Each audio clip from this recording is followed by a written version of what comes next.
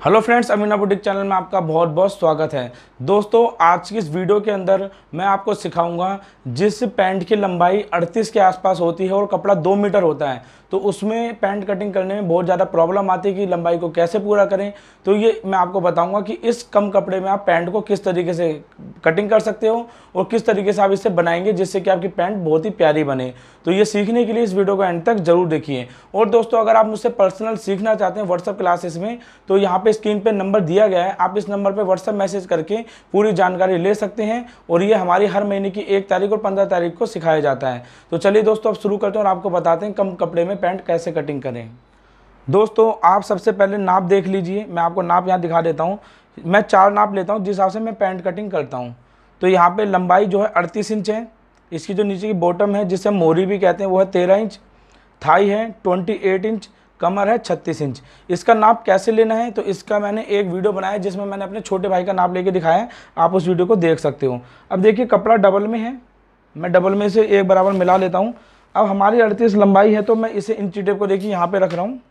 और इस तरीके से नाप रहा हूँ। दोस्तों, अड़तीस लंबाई है पैंट की और उनतालीस इंच का कपड़ा है हमारे पास। इसी में ही सबसे ज़्यादा प्रॉब्लम आती है कि हम इससे किस तरीके से कटिंग करें। तो यही चीज़ मैं आपको सिखाऊँगा कि आप बेहतर तरीके से पैंट कटिंग कैसे कर सकते हैं। तो आपको पहले सीधा उल्टा देख लेना कपड़े में कि कौन सी तरफ़ सीधा है, कौन सी तरफ़ उल्टा है। तो मैं यहाँ पे देखिए, मैं जो कपड़ा रख रहा हूँ, ये प्लेन कपड़ा है। इसमें कोई भी सीधा उल्टा या शाइनिंग का कोई चक्कर नहीं है। तो इसके अंदर हम इसे इसी तरीके से रख लेते हैं। किनारी वाली साइड आपको अपनी तरफ़ रखनी है।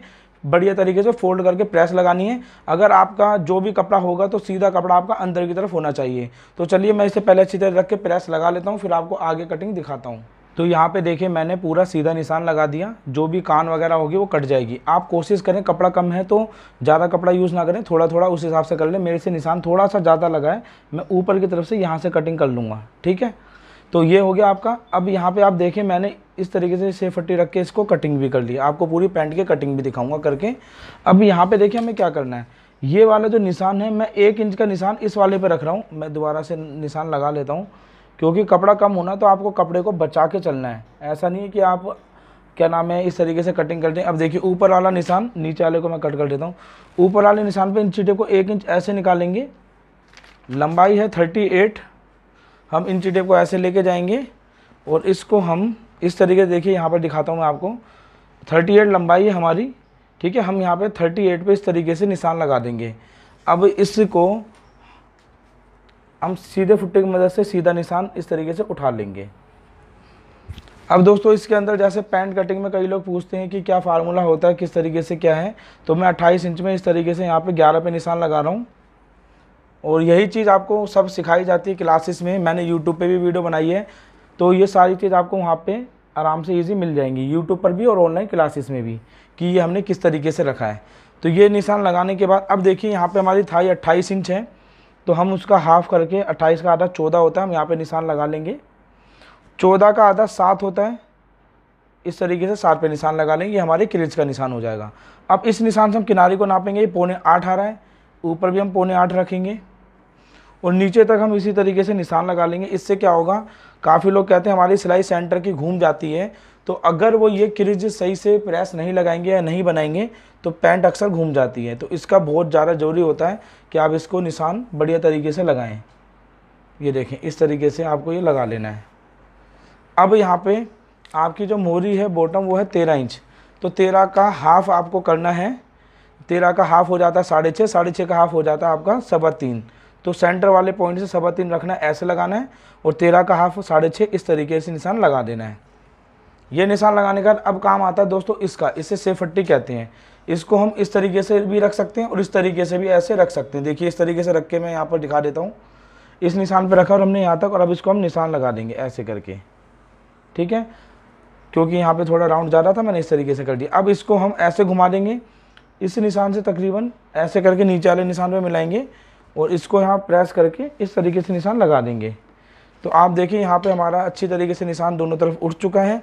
अब हमें अपना कमर का निशान लगाना है। कमर का नाप छत्तीस है तो छत्तीस का आधा हो गया अठारह। अठारह का आधा हो गया इस तरीके से निशान लगा देंगे। फिर ढाई इंच का हमें मार्जिन ऐड करना है, जो हमारा यहाँ पे दबाव जाता है वो प्लेट में जाता है। ये निशान लगाने के बाद अब जो नीचे वाली जो क्रॉस लाइन जहाँ पे हम देंगे तो यहाँ से कई लोग कहते हैं कितना रखना चाहिए? अंदाज़ा है आप यहाँ पे साइज़ के अकॉर्डिंग डेढ़ भी आ सकता है, दो भी आ सकता है, एक भी आ सकता है। तो मैं नॉर्मली यहाँ पर अंदाजे से फुट्टे को रखता हूँ इस तरीके से और यहाँ पर निशान लगा देता हूँ। यहाँ मैं ध्यान नहीं रखता कितना रखें, ठीक है? और इसको हम इस तरीके से सेव दे देंगे। अब ये सेफ़ हो गई। अब दोस्तों, इस जगह पर हम चार या साढ़े चार इंच का निशान लगा देंगे प्लेट के लिए और यहाँ पे हम पौना इंच का निशान लगा देंगे।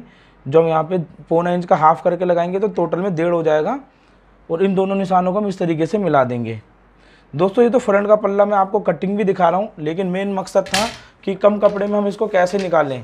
हमारा मेन मकसद ये है, लेकिन हम इसको कटिंग भी करके दिखाएँगे ना पूरी, आप तभी समझ पाएँगे। अब देखिए, नीचे की तरफ़ से मैं कटिंग करूँगा इसे। तो यहाँ पे आधा इंच का मार्जिन छोड़ते हुए मेरे को कटिंग करना है, क्योंकि हमने लंबाई नाप ली थी, आधा इंच का हमें इस तरीके से छोड़ना पड़ेगा, नीचे हम फोल्ड में कपड़ा लगाएँगे। और इस साइड से ऊपर वाले निशान को हम कटिंग करेंगे, क्योंकि नीचे वाला निशान मैंने आपको बताया था, गलत लगा दिया था, अब इस पर हम कटिंग कर लेते हैं। और इसको हम अब इस निशान पे दोस्तों कटिंग करेंगे।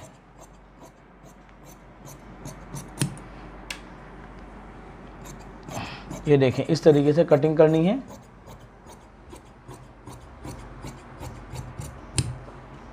कटिंग करने के बाद इसको हम इस तरीके से फोल्ड कर लेंगे। अब फोल्ड करने के बाद ये वाला जो कपड़ा है, ठीक है, इसको चाहे आप इसको इस तरीके से भी रख सकते हो, चाहे आप घुमा के भी रख सकते हो तो मैं इसको सीधा इसी तरीके से रख लेता हूँ। तो देखिए दोस्तों, आपको मैंने पूरा का पूरा जो है कपड़ा नाप के दिखाया था, ठीक है, कि कितना कपड़ा हमारे पे टोटल उनतालीस इंच था, अड़तीस लंबाई थी। अब यहाँ पर हमने एक इंच उठा के इसकी लंबाई नापी। अब मैं यहाँ पर देखिए, नीचे की तरफ़ से बिल्कुल मिला के रखूँगा इसको इक्वल और यहाँ से हम देख लेंगे, कपड़ा वगैरह इक्वल मिला के रखेंगे हम नीचे से। जितना हो सके उतना कवर करें। कम कपड़ा होगा तो आपको ये चीज़ करनी होगी। अब यहाँ पे देखिए, जैसे कि मान लो, अब ये तो आपका एक बार को यहाँ पे निकल भी जाएगा कपड़ा, ठीक है? लेकिन अगर इसी जगह पे उनतालीस लंबाई होती तो नहीं निकलता, मैं इसको थोड़ा ऊपर कर लेता हूँ। मान लो आपका ये आ गया। ध्यान से देखना जो मैं आपको दिखाना चाह रहा हूँ।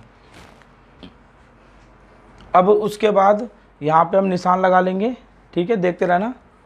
फिर इसके बाद जहाँ पे हमारा साइज़ था, यहाँ पर, या फिर आपको किस तरीके से एडजस्ट करना है घेरा, इसके ऊपर हमने वीडियो बनाई हुई है। कई लोगों को ये वाला हिस्सा दिखाओ तालिब, ये वाला हिस्सा ज़्यादा नहीं चाहिए होता तो आप अपने हिप के हिसाब से घेरा एडजस्ट कर सकते हो। उसके ऊपर मैंने वीडियो बनाई है तो आप हिप के हिसाब से कैसे घेरा एडजस्ट करना है वीडियो देख सकते हैं। और यहाँ पर आपको इस तरीके से निशान लगा लेने हैं। निशान लगा के वैसे डेढ़ इंच दिखाओ थोड़ा पास से। यहाँ से डेढ़ इंच का इस तरीके से फ्रंट वाले से निशान लगाना है, डेढ़ इंच का यहाँ पे निशान लगाना है, और इससे आधा इंच वाले निशान पे यहाँ पे निशान लगा लें और इसको यहाँ पे मिला दें। अब इस सेब पट्टी की मदद से जैसे आपने यहाँ पे निशान लगाया था, बिल्कुल ऐसे ही यहाँ पर भी निशान लगा दें। ठीक है? ये निशान लग गया। अब दोस्तों आता है यहाँ वाला हिस्सा जैसे कि हम बैक पल्ला उठा के कटिंग करते हैं, अब यहाँ पर आएगी दिक्कत अगर आपके पास कपड़ा कम है। तो यही चीज़ मैं आपको सिखाऊँगा कि कैसे आपको ये ठीक करना है। इसमें हम यहाँ पे तीन इंच बैक पल्ला उठा के कटिंग करते हैं। और अब इसको हम इस तरीके से रख के इस निशान पे ऐसे खींच लेते हैं। आप देखें, हमारे यहाँ पे फ़र्क कितना पड़ गया? आप देख सकते हो, कितना ज़्यादा अजीब सा यहाँ पे फ़र्क हो चुका है। तो कटिंग कैसे करनी है? तो पहले तो मैं इसको यहाँ पे कटिंग कर लेता हूँ। देखिए, आपको कटिंग करके दिखाता हूँ, तभी आप समझ पाएँगे किस तरीके से निकालना है। क्योंकि यहाँ पर कम कपड़ा है तो आपको जो तरीका बताऊँगा, वही यूज़ करना है। और इसको आप निशान से आधा इंच लेके चलेंगे। जो भी आपने मेज़रमेंट रखा होगा हाफ़ में, वो आपका आधा इंच के मार्जिन से दबाव लेंगे ना तो ऑटोमेटिक आपका सारा का सारा बैठ जाएगा बढ़िया तरीके से मेज़रमेंट अब मैं देखिए, यहाँ से भी इसको इक्वल कटिंग कर लेता हूँ।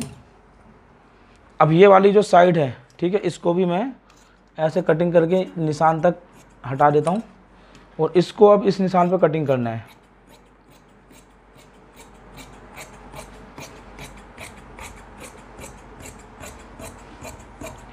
ये देखिए, आराम से कटिंग करके इसको, अब ये जो कपड़ा बचा आपका, इसको अलग कर लेना है। इधर वाले कपड़े को हटा देना, ये बेल्ट वगैरह पूरे खर्चे में काम आ जाएगा। दोस्तों, क्या होता है, मैं आपको एक चीज़ बताना चाहूँगा।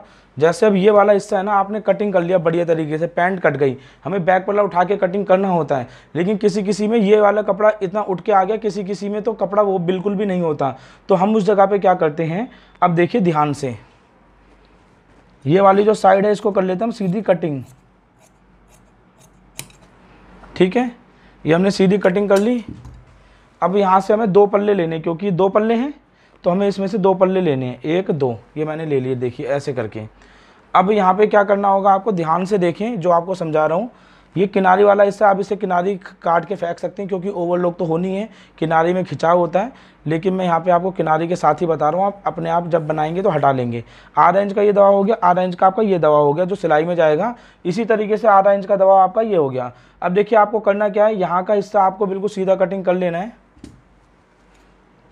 पूरी वीडियो के अंदर जो मैं आपको समझाने वाला था, वो यही वाला हिस्सा है। इसी चीज़ को आपको समझना है। अब देखिए, ये वाला निशान आपको पास से दिखाता हूँ। ये निशान को इस निशान से मिला दें, ये दबाव आ जाएगा। बिल्कुल इसे सीधा रखें। सीधा रखने के बाद यहाँ पर भी आप निशान लगा सकते हो। अगर आपको दिक्कत हो रही है तो यहाँ भी लगा सकते हो, नहीं तो इसको इस तरीके से सीधा कर लें। ये हमने सीधा कर लिया। अब देखें, ये जो फ्रंट वाला निशान है, वो आपका ये निशान आ रहा है। यहाँ से आपको बैग कितनी बड़ी लेनी है? जैसे मैं यहाँ पे साढ़े तीन लेता हूँ तो मैं साढ़े तीन का निशान लगा लेता हूँ। और अब इस जगह से साढ़े तीन पर हम इसको तिरछे में ऐसे देंगे। अब दोस्तों, इसको हम इस तरीके से कटिंग कर लेंगे। कपड़े को सही से रखना, इस चीज़ का ध्यान रखें, तभी आपका जोड़ बढ़िया कट पाएगा। अब ये वाला हिस्सा कट गया, नीचे आ जाऊँ।